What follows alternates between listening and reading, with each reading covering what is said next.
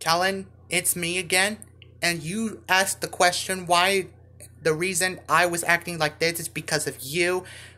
Because of you, what you did to me. You know why am I acting like this? Because of you.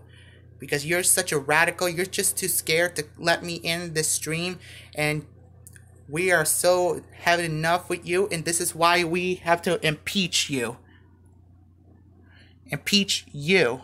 So there's mine right there right there that it says the yays and nays. Like the yay means yes, the nay means no. And that is my vote. So yeah, I am going to impeach you. So does you deserve that to be impeached by me, Kalin? You freaking lunatic. You are a lunatic what you did to my best friend Reagan. What you did, it was abuse of power.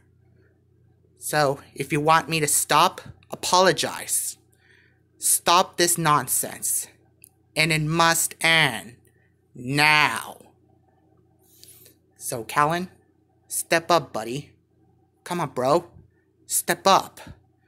And that revenge I just did to you, it was just that that prank I did in April Fools, it was just a prank. So step up. It's only a prank for what you did to me. It's a revenge and quit calling me a man child.